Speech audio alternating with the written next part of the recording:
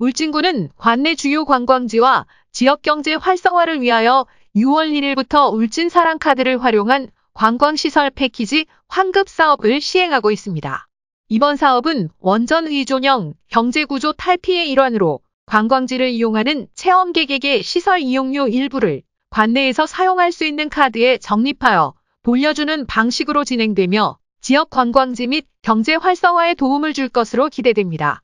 울진군민 또는 관광객이 관광시설을 3개 이상 패키지로 구입할 경우 결제한 금액에서 환급액 20%를 울진사랑카드에 적립하여 지급하며 지급받은 금액은 울진군 관내에서만 쓸 수 있도록 하여 지역의 소상공인들에게 도움을 줄 수 있도록 하였습니다.